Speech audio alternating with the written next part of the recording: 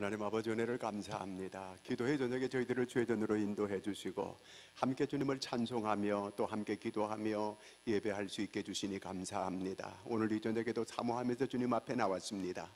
날씨가 쌀쌀하지만 이렇게 주의 전을 찾는 저희들 귀히 여기실 줄로 믿습니다. 주께서 하나님의 말씀을 들으면서 기도에 응답받게 하여 주시옵소서. 마음으로 사모하는 것이 이루어지는 역사가 있게 하여 주시옵소서. 주께서 친히 말씀해 주시고 우리는 하나님의 음성을 잘 들을 수 있도록 길을 열어 주시옵소서. 예수님의 이름으로 기도하옵나이다. 아멘. 어, 고린도전서 3장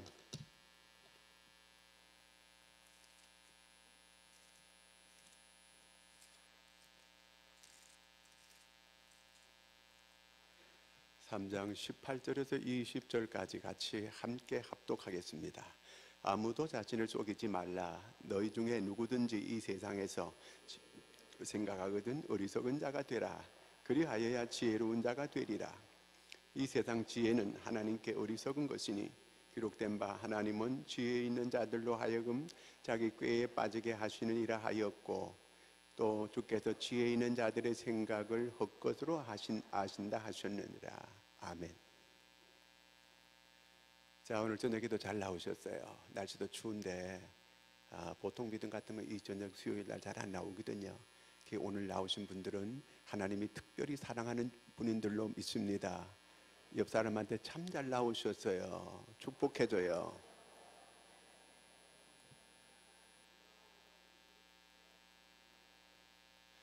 어, 고대 중국의 중국을 통일한 진시황이 있잖아요. 이 사람이 그 죽음을 두려워해서 죽지 않는 이 불로 명약을 구해오라고 자기 신하 가운데 이 간무라고 하는 대신에게 부탁을 했어요. 숫닭이 알을 낳는 걸 가져오게 되면은 장수할 수 있다고 해서 그래서 어디 숫닭이 낳은 알을 구해오라고 그 간무 대신에게 이렇게 명령을 했어요. 이 대신이 집에 가가지고 고민이 되는 거예요. 숫닭이 알을 낳아요. 이 왕의 어명이니까 이게 숫닭이 어디서 이 알을 낳는 걸 알 수가 없잖아요. 그래서 고민하고 있는데 손주가 이제 할아버지가 고민을 하니까 왜 그렇게 얼굴이 그렇게 고민이 많으냐고 물었어요. 그랬더니 야 왕이 폐하가 이렇게 이렇게 숫닭이 그 알을 낳는 알을 가져오면은 자기가 불로 장생할 수 있다고 이렇게 구해오라고 한다. 그랬더니 얘가 한참 생각을 하더니 자기한테 좋은 그 계책이 있다는 거예요. 그래서 얘가 안 그래도 할아버지가 번뜩번뜩 얘기하는 것 들어보면 아주 기가 질릴 정도로 아주 얘기를 잘하거든 이게요. 그래서 3일 후에 자기를 이제 왕을 알려하도록 이렇게 좀 데려다 달라 그랬어요. 그래서 이제 그럼 그래라 그래가지고 이 간무 대신이 자기 이제 손주를 데리고 궁굴로 데려가요. 들어가는데 왕에게 들어갈 때는 그 할아버지는 돌아가시고 자기, 자기 혼자만 이제 들어가게 해달라는 거예요. 그래, 뭐, 네 혼자 들어가라. 그래서 왕을 이제 알려나로 들어갔어요. 그랬더니, 야, 네 할아버지는 왜 안 오고 네가 왜 이렇게 여기 왔느냐 그렇게 물어요. 그래서 할아버지는 지금 아기 낳는 중에 있습니다. 옛게 이놈아 어떻게 남자가 이렇게 아, 아기를 낳는 법이 세상에 그 어디 있느냐 어디라고 안전이라고 이렇게 왕을 갖다가 이렇게 능멸하고 쏘기느냐 그랬더니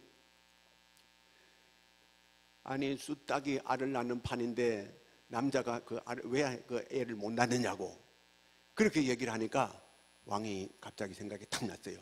아 간무한테 내가 이런 그 명령을 내렸는데 그 얘기 가지고 이렇게 하나보다 하고 그 자기가 마음이 찔려가지고 대신을 불러가지고 내가 잘못했다고 이렇게 사과했다는 거예요.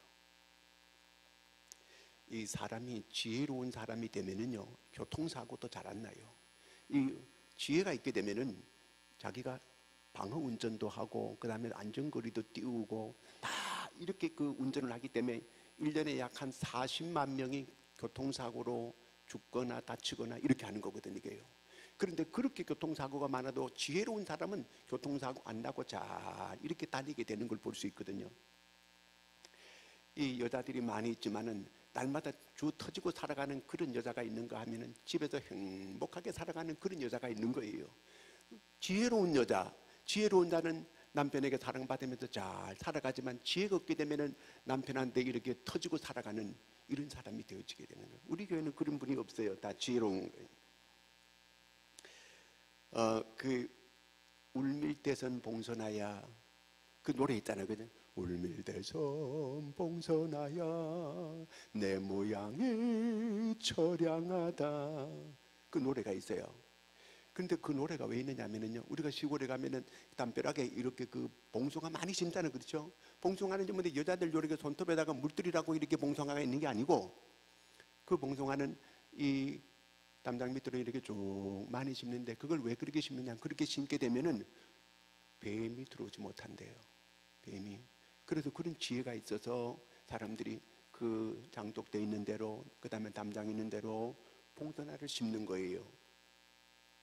그 다음에 또 산에 이렇게 등산하러 가거나 아니면은 텐트를 치고 이렇게 잠을 잘 때, 들에서 잠잘 때, 원두막에 잠잘 때, 그때 담배가루를 이렇게 이렇게 뿌려놔요. 그러면 뱀이 그 걸로 못 들어오는 거예요. 뱀, 뱀은 니코틴을 싫어해요. 그래가지고 뱀이 못 들어온다는 거예요. 이걸 어떻게 알았냐면은 어느 날 이 뱀이 개구리를 잡아먹으려고 막 따라가는데 개구리가 담배밭으로 들어가니까 뱀이 딴 데로 도망가 버리더래요. 아, 그렇구나.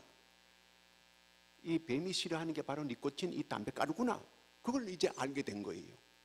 그래서 사람들이 이제 어디 들에 가서 잘 때나 이렇게 그럴 때 담배가루를 뿌리게 되는 거예요. 이거는 그 사람들이 옛날부터 이거는 다 어른들이 경험을 통해서 이거 보고 알게 그렇게 된 거거든 이게요. 하나님께서 이 개구리를 뱀한테 살리려고 그렇게 그 예, 담배밭을 그렇게 허락하신 건가 봐요. 어, 옛날에 그 이 도둑놈도 지혜가 있는 사람은요 안 들키고 도둑질도 그렇게 잘하나 봐 이렇게요. 남송 시대에 이 도둑놈이 어디 가서 부잣집만 터는 거예요. 그리고 털고, 털고 나면 대문에다 꼭 이름을 자기 이름을 써놓고 가는 거예요. 아래야 이렇게 딱 이름을 써놓고 가는 거예요. 그러니까 부잣집마다 다 틀리고 아무리 이 병사들이 잡으려 그래도 못 잡는 거예요. 그 어느 날 저녁에 우리 이게 그 어정간정한 밤에 다니다가 한 사람이 딱 잡혔어요. 그래도 붙잡혀 와가지고 너 아래야 맞지? 취조를 하는데도 아 자기는 아니라는 거예요. 그래가지고 하다 하다 한 데도 감옥에 가다 놨어요. 그 며칠 가, 가다 놓고 있는데 그 이 사람이 옥졸들을 부르더니 막 이보시오 이리 와 보시오 그 어느 그 어느 어디 가면은 나무가 있는데 그 밑에 가면은 거기에 보물이 묻혀 있을 거라고. 그래 그 사실이냐? 사실입니다. 그래 가보니까 진짜 그 보화가 있는 거예요. 아 그걸 꺼내가지고 옥졸이 부자가 돼버렸어요. 그또 며칠 있으니까 또 지난번보다 더 많은 보화가 어디 숨겨 있으니까 그거 가지고 꺼내가지고 쓰라는 거예요. 그래가지고 또 가보니까 세상에 지난번보다 보화가 더 많은 거예요. 그래가지고 옥졸이 더 큰 부자가 돼버렸어요. 그러니까 이 옥졸이 그 감옥에 갇혀있는 그 사람이 자기한테 두 번이나 큰 보따리 선물을 이렇게 해주었으니 너무 고맙잖아요. 그러니까 감옥한테 잘 해주는 거예요. 좋은 음식도 갖다 주고 막 편리를 봐주고 다 해주는 거예요. 그날 어느 날 조용하게 오더니만 나를 좀 밤에 내가 직접 가서 해결할 일이 있으니까 좀 나를 내보내 주시오. 그랬어요. 그러면 두 번이나 금보따리를 갖다가 이렇게 그 자기가 얻었는데 안 보내주겠어요? 그 자기 새벽에 꼭 돌아올 테니까 나를 보내달라고 나갔어 이 사람이. 그래가지고 밤에 나가서 새벽에 또 돌아온 거예요. 근데 그 다음날 그 읍에 난리가 났어요. 최고 부잣집이 다 털린 거예요. 천냥이라고 하는 그 엄청난 금이 천냥이 없어져 버린 거예요. 그런데 대문에다가 아래야 또 써보놨거든. 아니 아레아가 감옥에 있는데 어떻게 여기 또 이게 여기서 이 집이 털렸냐는 거예요. 그러면 감옥에 있는 아레아는 그건 아레아가 아니다는 거예요. 그래가지고 이 사람은 감옥에도 풀려나 버렸어 그냥. 제가 도둑질하라고 가르치는 거 아니에요 이거는요.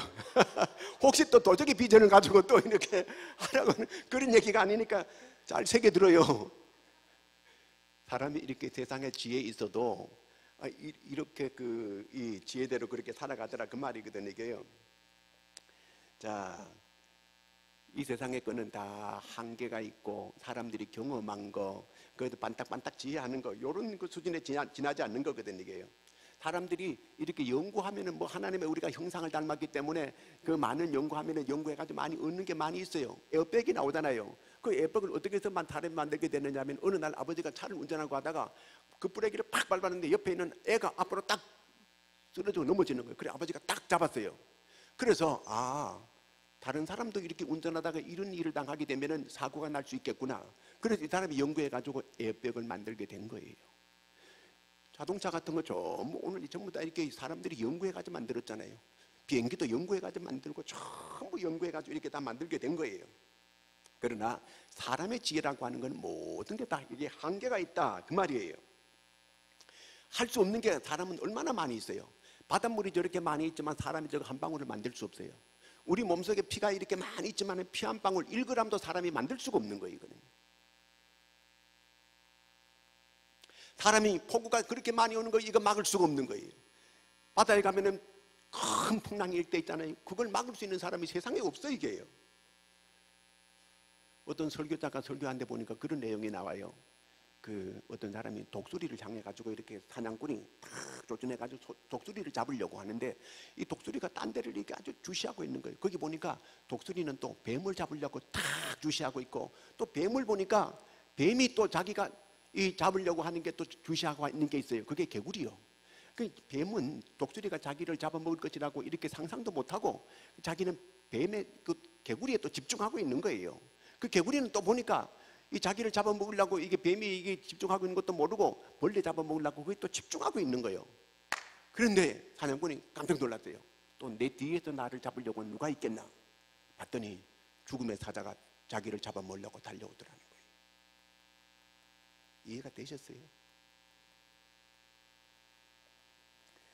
자, 이 다 이렇게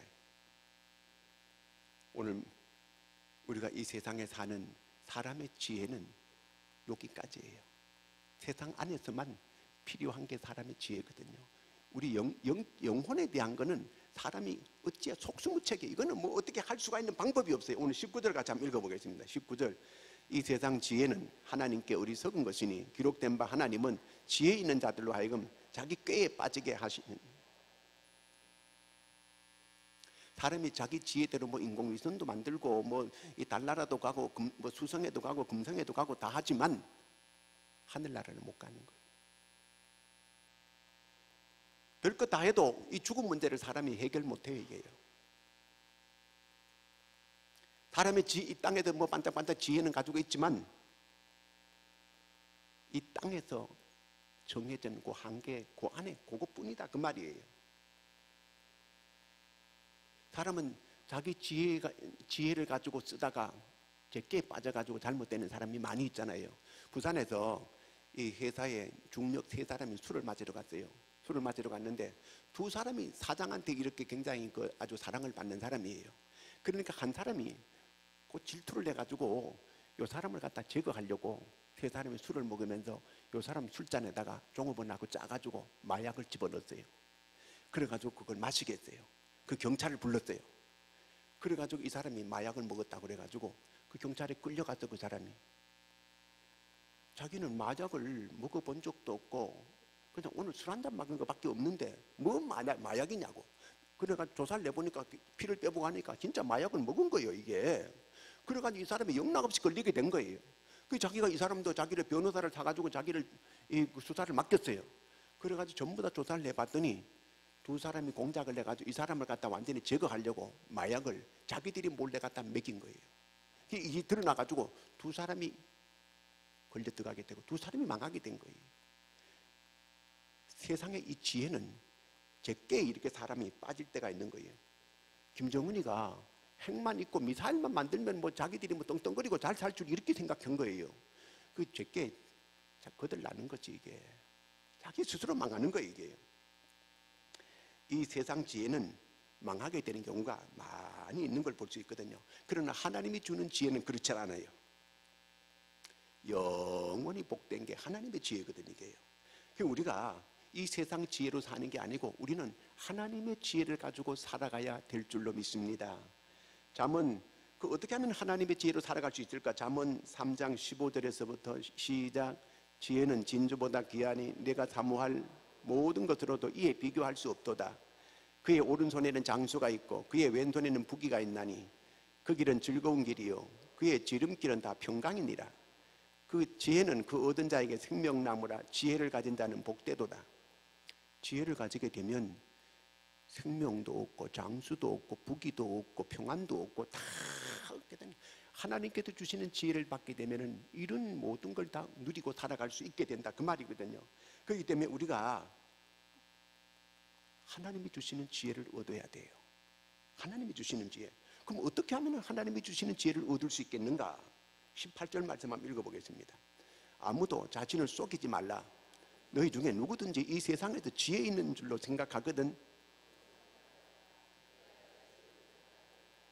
예, 우리가 스스로 자기가 지혜 있는 줄로 생각하면 안 된다는 거예요. 하나님, 저는 지혜가 없습니다. 저는 하나님 앞에 바보 같습니다.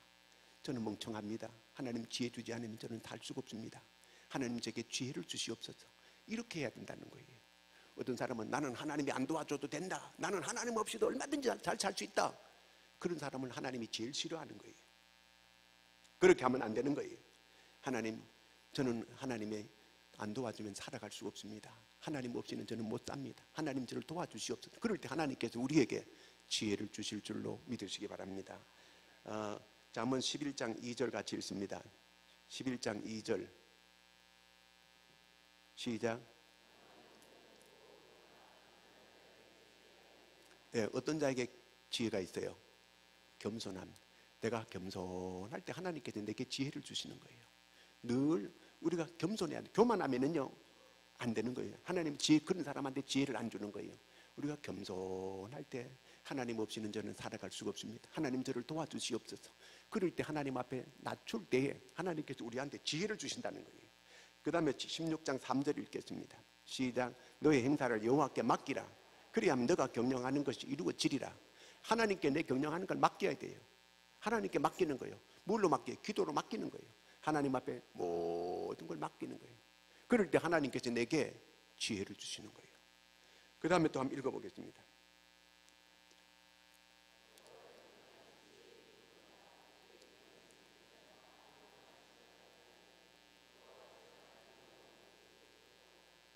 여호와를 경외하는 사람에게 하나님은 지혜를 주시는 거예요. 여호와를 경외하면 지식이 지혜의 근본이라는 거예요. 하나님을 잘 경외하고 사는 사람들에게는 하나님께서 우리한테 지혜를 주는데 요셉이 경력을 보면 이력서를 보면은요. 요셉은 이력이 별로 없어요. 갖는 게 그저 억울하게 보디발의 아내 이 때문에 억울하게 감옥 간 게 이게 전부요. 그런데 감옥에 가 있는데 아 거기에 떡 굽는 관원하고 술 맡은 관원 두 사람이 그 감옥에 뚝 들어온 거예요. 그래가지고 같이 이렇게 지내게 되는데 어느 날 이 사람들이 얼굴 색깔이 이상해요. 그래서 어르신들 왜 그렇게 얼굴이 이렇게 근심이 있느냐고 물어봤더니 자기가 밤에 꿈을 꿨다는 게 두 사람들이 다 그래가지고 한 사람이 술 맡은 간원이 자기가 꿈꾼 얘기를 이렇게 요셉한테 하는 거예요. 그게 뭐라 그러냐면은 내가 꿈을 꿨는데 그 포도나무 하나가 있는데 가지가 세 개가 있더이다. 가지가 세 개가 있더라는 거예요. 근데 그 포도가 주렁주렁 포도에 꽃이 피고 열매가 주렁주렁 맺어가지고 그것을 내가 짜가지고 왕에게 내가 이렇게 드렸다는 거예요.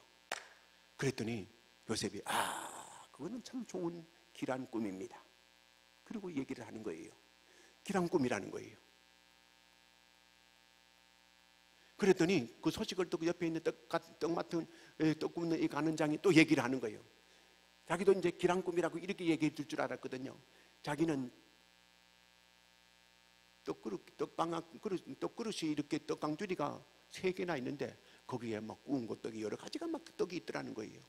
그런데 거기에 이 강줄이에 이 새들이 와가지고 그걸 떡을 막 먹더라는 거예요. 그랬더니 요셉이 이제 그 꿈을 해석을 해줬어요. 그 가지가 셋이고 그 다음에 또 새, 새 광줄이라고 하는 거는 3일 후에 이제 그 술 맡은 관원이 복직이 되고 그 다음에 이 떡 굽는 관원은 3일 후에 나무에 달리게 되고 이제 새들이 와가지고 그 시체를 쪼아먹는 이렇게 될 것이라고 이렇게 얘기를 해줬어요. 그리고 요셉이 그 술 맡은 간원장에게 얘기를 해주는 거예요. 앞으로 당신이 잘 될 때 나를 좀 기억해 달라고. 그렇게 얘기했거든요. 자기는 이렇게 감옥에 올 그런 일은 하지 자기는 행한 일이 없다고. 그러면 자기를 기억해 달라고 이렇게 부탁을 했거든 이게요. 그런데 그 술 맡은 간원이 자기는 복직이 돼가지고 이제 그 잘 있는데 뭐 그 기억이나 하겠어요 요셉을 까맣게 다 잊었어요. 그리고 2년의 세월이 흘러갔어요. 2년이 흘러갔는데 바로 왕이 꿈을 꿨어요. 꿈을 꿨는데 온 나라의 모든 술객들과 박수들 전부 다 모아가지고 꿈을 해석하라 그러니까 못하는 거예요. 그때에 이 술 맡은 가는이 생각이 딱 난 거예요. 그 요셉이 생각이 난 거예요. 다 잊어버렸다가 그래서 왕에게 얘기를 했어요. 내가 감옥에 있을 때 떡맛 떡 굽는 가는하고 나하고 둘이 있는데 그때 내가 꿈을 꿨을 때 그 사람이 꿈을 해몽해 줬는데 그대로 됐다고. 그러니까 그 사람을 데려와라. 그랬어요. 그래서 요셉을 데리러 가가지고 요셉이 감방 안에 있으니까 제대로 면도도 못하고 얼굴도 뭐 이렇게 제대로 씻지도 못하고 하는 걸 다 면도하고 그 다음에 또 그때 구름문에 있었는지 모르지만 하여튼 잘 발라가지고 머리도 감고 해가지고 이렇게 왕에게 왔어요. 왕에게 와가지고 이제 왕이 꿈 얘기를 더 하니까 전에 다니엘은 느부갓네살 왕이 꿈 꿔가지고 해몽을 못하고 꿈도 얘기도 안 해주고 꿈 해몽, 해몽을 무조건 해내라 그래가지고 자기가 그냥 기도해가지고 그 꿈을 알아냈고 해몽도 해준 적이 있는데 이 요셉은 뭐 기도할 것도 없어 하나님을 잘 경외하는 사람이니까 하나님께서 경외하는 하나님을 영화를 경외하면 지혜의 근본이라 그랬으니까 저절로 그냥 꿈 해몽을 다 해주는 거예요. 뭔 꿈이냐 하면은 이 나일강에 거기에 일곱 마리 소가 갑자기 살찐 소가 올라오더니만 거기 갈대잎을 다 먹는데 나중에 파리하고 흉악한 이런 소가 올라오더니만 그 일곱 마리를 다 잡아먹어 버렸어요. 그런데 배도 안 부르더라는 거예요. 그 다음에 이삭이 또 일곱 개가 나오는데 충실한 이삭이 나왔어 일곱 개가. 그 다음에 또 아주 흉악한 이삭이 나와가지고 그 아주 충실한 이삭을 다 먹어버렸다는 거예요. 두 번 이런 꿈을 꿨어요. 그랬는데 이 요셉이 꿈을 해몽해 주는 거예요. 두 번 꿈꾼 건 똑같은 것입니다. 이거는 두 번 꿈꿨다고 하는 건 하나님께서 확정적으로 이 일을 시행한다는 뜻입니다. 그래가지고 설명을 쭉 해줬어요. 앞으로 7년 동안 이 땅에는 큰 풍년이 들게 될 것입니다. 그럴 때에 곡식을 잘 고을마다 창고를 만들고 저장을 잘 해두었다가 흉년이 들 때에 7년 또 흉년이 들 텐데 그때에 잘 이렇게 쓰게 되면 나라가 평안하고 아무 일 없게 될 것입니다. 그렇기 때문에 좋은 지혜 있는 자를 세워서 나라를 잘 다스리소서 그랬어요. 그랬더니 왕이 야 너가 너보다 더 지혜로운 사람이 세상에 어디 있느냐? 네가 총리를 해먹어라. 그러면서 자기 인장 반지를 끼워 주면서 내가 자리만 더 높은 데 있지 네가 나라를 다 다스려라. 이렇게 됐어요. 어떻게 이렇게 됐어요? 여호와를 잘 경외했더니 하나님께서 이런 지혜를 주어서 꿈을 해몽하게 되었고 세계에서 그 당시 문명의 발상지인 애굽에서 자기가 진짜 실권은 다 가지고 있는 거예요 노예로 팔려가 가지고 나라를 세계적인 나라를 다 다스리는 이런 사람이 됐다는 거예요 하나님이 우리에게 지혜를 주셔야 되는 거예요. 어떤 사람에게 지혜를 줘요? 겸손한 사람에게 지혜를 주어요. 어떤 사람에게 지혜를 줘요? 여호와를 잘 경외하는 사람들에게 지혜를 주는 거예요. 그 하나님의 지혜가 있는 사람은 사업을 해도 하나님께서 지혜를 줘가지고 성공적으로 그 사업을 잘할 수 있게끔 그렇게 만들어 주시는 거예요. 그리고 어떤 사람에게 또 지혜를 주느냐면 야고보 1장 5절이에요. 시작.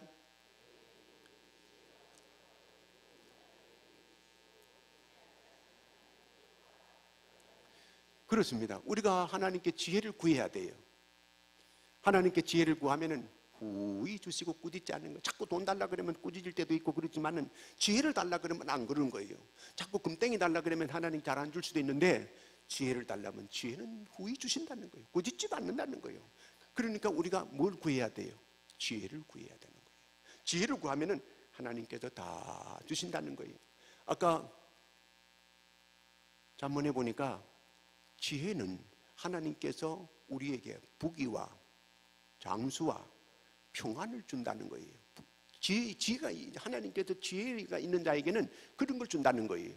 그러므로 우리가 금년 2018해에 참 말하기가 힘들어요, 이건요. 2018, 18 그러니까 제발 그런 말 좀 쓰지 말라 그러는데 이거 안 할 수도 없잖아요, 이거요. 금년에 꼭 하나님의 지혜를 얻어서 하나님이 주시는 이 부귀와 장수와 평안이 여러분들에게 가득하기를 주의 이름으로 축원합니다. 기도하겠습니다. 하나님 지혜를 주시옵소서. 하나님이 주시는 지혜가 필요합니다. 겸손할 때 지혜를 주고 여호와를 잘 경외하는 자에게 지혜를 주고 지혜를 구하는 자에게 하나님은 지혜를 주신다 했습니다. 우리가 세상에 아무리 어려도 하나님이 지혜를 주시면은 얼마든지 우리는 성공적인 삶을 살아갈 수 있습니다. 하나님 내게 지혜를 주시옵소서. 사람을 말 때도 지혜롭게 대할 수 있도록 하나님 지혜를 달라고 하나님께 구하고 우리 이제 성교 팀들 위해서 기도해 주시고 금년 한 해 하나님이 우리가 계획한 일들이 잘 이루어질 수 있게 해달라고 같이 기도하겠습니다. 하나님 아버지 은혜를 감사합니다. 오늘 기도의 저녁에 주님 앞에 나와서 이렇게 함께 같이 한 마음으로 기도할 수 있게 해주신 은혜를 감사합니다. 하나님 특별히 원하옵기는 하나님 우리가 어리석습니다. 우리는 부족합니다. 하나님 우리가 이 세상에서 얼마나 어리석은 일을 할 때가 많은지 모릅니다. 하나님 우리는 우리 앞길을 잘 알지 못합니다. 어떤 일이 벌어질지 아무것도 알 수 없습니다. 하나님 요셉에게 하나님께서 지혜를 줄 때에 하나님께서 그를 가장 높은 자리에 이렇게 올려주었고 성공적인 그의 삶을 살아갈 수 있도록 하나님 도와주셨습니다. 하나님 우리에게 지혜를 주시옵소서. 우리에게 필요한 것은 하나님의 지혜입니다. 하나님 지혜를 더하여 주셔서 오늘 이 시대 어려운 시대를 잘 극복하고 이기고 나갈 수 있는 저희가 다 되게 도와주시옵기를 간절히 원합니다. 여호와를 잘 경외하여 하나님 지혜를 얻는 저희들이 다 되게 도와주시옵소서. 하나님 지혜를 얻어서 부귀가 있고 장수가 있고 평안이 있는 저희들의 삶이 되게 도와주시옵기를 간절히 원합니다. 하나님이여 겸손한 마음으로 하나님께서 주시는 지혜를 얻게 도와주시고 또한 아버지는 지혜를 구하여 지혜 있는 자들이 다 될 수 있게 도와주시옵기를 간절히 원합니다. 지혜를 구하면은 하나님은 후히 주시고 꾸짖지 아니하신다 했사오니 하나님 우리에게 지혜를 베풀어 주시옵기를 간절히 원합니다. 또한 아버지 하나님 기도하옵기는 이제 단계 선교팀들 하나님 준비하고 기도하는 가운데 있는데 하나님께서 모든 걸 채워주시고 하나님이여 가고 오는 모든 길에 동행하여 주시고 위험한 곳 이르지 않게 도와주시고 안전을 지켜주시고 하나님께서 가서 하나님 선한 영향력을 많이 끼치고 돌아올 수 있게 주님 인도해 주시옵기를 간절히 원합니다. 또한 아버지 하나님의 올금전 한 해에 하나님께서 우리에게 부어주실 은혜를 기대합니다. 하나님 우리 교회가 부흥할 걸 기대하고 있습니다. 하나님께서 역사하시고 도와주시옵기를 간절히 원합니다. 지난해도 한없는 하나님의 은혜를 주었지만 금년에는 더 큰 기대를 가지고 있습니다. 하나님 우리가 최선을 다하게 도와주 주시고 하나님 그리하여 하나님이 주시는 그 놀라운 역사를 우리가 보게 하여 주시고 하나님이여 정말 우리가 하나님 앞에 구하고 기도하는 그 이상의 역사를 거둘 수 있도록 역사하시고 도와주시옵기를 간절히 원합니다. 우리 하나님께서 오늘 이 밤에도 우리의 모든 기도를 응답하여 주시옵소서. 개개인적으로 하나님 앞에 구하는 기도마다 이루어지게 도와주시옵기를 간절히 원합니다. 하나님이여 진급하는 모든 아이들 위에 함께 하시고 하나님이 한 단계 한 단계 올라갈 때마다 믿음의 아버지 하나님이 흔들리지 않게 도와주시고 그래서 교회가 그들을 잘 인도하고 그 잘 아버지 하 기도할 수 있도록 도와주시옵소서. 하나님의 교회를 든든히 세워가게 도와주시옵고 하나님은 이 교회를 통하여 영광 받아주시고 하나님의 뜻이 이루어지게 하여 주시옵소서. 우리의 기도를 들으시는 주님을 찬양하오며 예수님의 이름으로 기도하옵나이다